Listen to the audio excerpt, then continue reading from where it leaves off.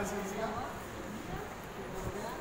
कोई सवाल पूछना नहीं तो आपको कोई डाउट है इसमें कुछ और सवाल पूछने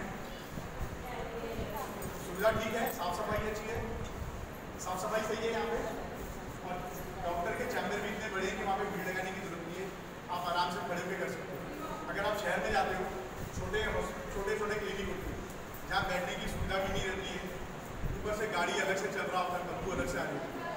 तो मैं आप लोगों को जैसे बताया कि उनके पास खोने के लिए कुछ है क्या? नहीं है। अगर आप उनके पास नहीं जाओगे, उनके पास डिग्री नहीं है। लेकिन इनके पास में डिग्री है, लाइसेंस है। अगर इनके साथ में कुछ माल प्रैक्टिस होता है तो इनके पास खोने के लिए बहुत कुछ है। इसीलिए फूक फूक के कदम रखते हैं और जाँच का एक प्रोसीजर है, उस प्रोसीजर में काम करते हैं। आप देख पा रहे हैं वहाँ पे जैसे बी शुगर सब मेजर हो रहा है। अलग अलग डिपार्टमेंट बने हैं उसमें बहुत सारे डॉक्टर्स हैं। इसके अलावा आप व्हाइट बोर्ड में बहुत सारे डॉक्टर्स दिख रहे होंगे।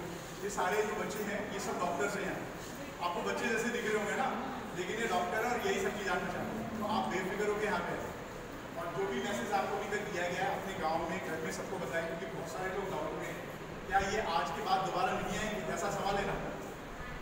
ऐसा मन में है कि आज के बाद क्या दोबारा आएँगे तो हमें ऐसा जाँच कि नहीं?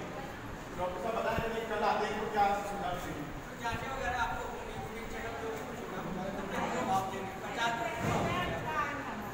क्या हुआ आपको परेशानी है अभी आप डॉक्टर साहब अंदर बैठे हैं जो कंसर्न डिपार्टमेंट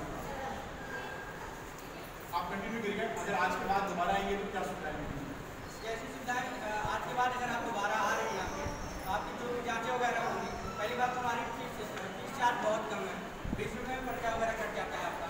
तो आप बाहर जाएँगे तो लगभग पाँच सौ रुपये चार सौ रुपये दो सौ रुपये तीन सौ रुपये ऐसे हिसाब से फ़ीस देते हैं हमारे बीस रुपये में वेल क्वालिफाइड डॉक्टर आपको अवेलेबल हो जाएँगे तो जो चीज़ भी देंगे आपको वेल तरीके से लिख करके प्रिस्क्राइब करेंगे और अच्छी अच्छी सलाह देंगे आपको।